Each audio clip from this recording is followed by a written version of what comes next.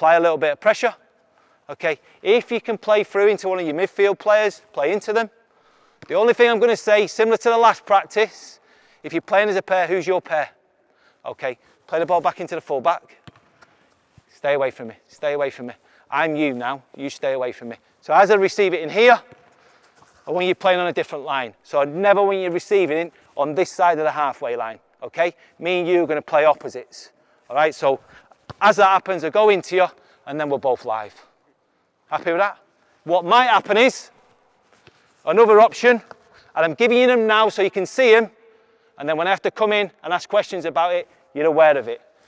Another option might be, as you come in, I might want to nick the ball around the corner into my front man and then go and play.